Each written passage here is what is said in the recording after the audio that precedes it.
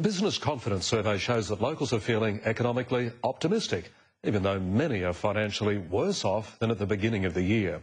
Experts say businesses need to capitalise on internet opportunities and professional networking to turn things around. Yvette Adams started her marketing and design business from home four years ago. Its rapid success was overwhelming. I realised I couldn't do it all. I needed help, so I started getting the assistance of people. Professional networking has been key to Yvette's booming business. But research from the Council of Small Businesses of Australia shows many other local small businesses aren't doing the same thing.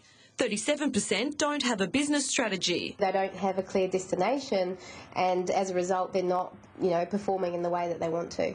But more than three quarters of small businesses want to grow their customer base, and more than half want to grow their revenue. A separate Sunshine Coast Business Confidence Survey corroborates that optimism. 72% of businesses surveyed feel there'll be an economic upswing by April even though 46% said the past six months have been tougher than the previous six. 61% of people said the fuel price was a real worry.